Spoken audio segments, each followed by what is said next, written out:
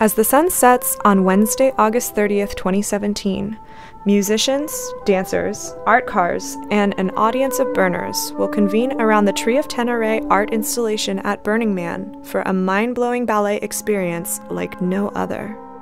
When Stravinsky's Rite of Spring was premiered over 100 years ago in 1913, it caused uproar and nearly incited a riot. The music is both eerie, beautiful, but also pounding and dissonant. Uh, the dancers were lurching and stomping in a way that a French audience had just never seen in a ballet.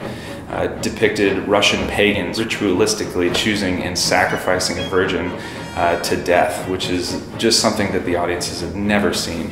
The Rite of Spring does something to our bodies when we play it. There's a core vibrancy in that music. It's very primal, it's very um, animalistic, it's very raw. And I think that kind of speaks to the environment of Burning Man. You know, we're in this desert.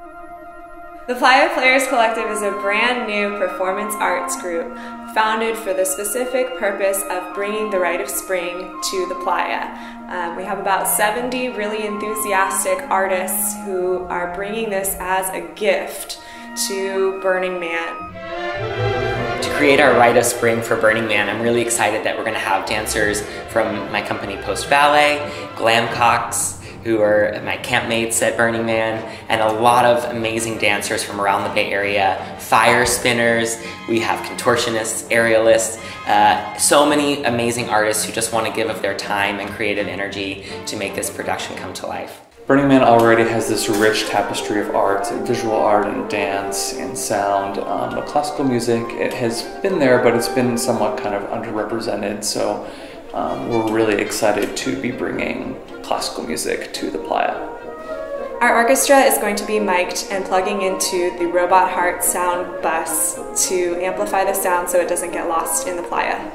We're collaborating with the Tree of Teneré, which is this amazing four-story tree that is sound sensitive and will be lighting up um, in response to our music, creating an amazing light show to add to the spectacle. But in order to make this happen, to get this project on the playa, to engage more people in classical music, we really need support. Our volunteers are gifting their time and talents to this amazing production, but there are still a number of expenses involved, including rehearsal space, sound equipment, costumes, instrument rental, um, equipment transportation, and more. And that's why we're reaching out to you, our arts community, our friends, our family, our burner community for your support in making this production happen.